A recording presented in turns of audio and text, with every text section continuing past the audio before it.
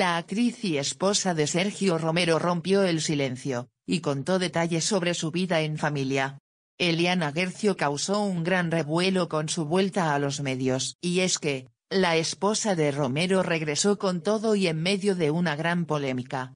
Todo se dio cuando se conoció que la ex vedette será la encargada de reemplazar a Cathy Fulop en el programa de Santiago, del Moro.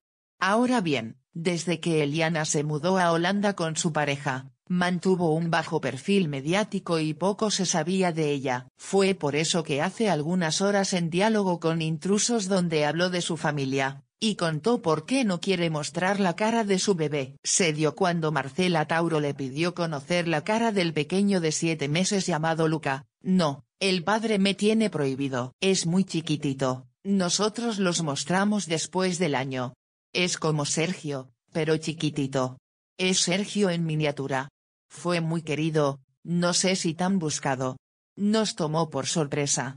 Yo estaba entrenando como loca, en pandemia, porque había aumentado un montón de peso, así que ya el embarazo me agarró con unos cuantos kilos de más, y un día tomando una copita de vino, comenzó. Fue entonces que reveló los detalles, y me empecé a sentir mal, y ahí le dije a Sergio, en chiste no, es que debe ser el varón.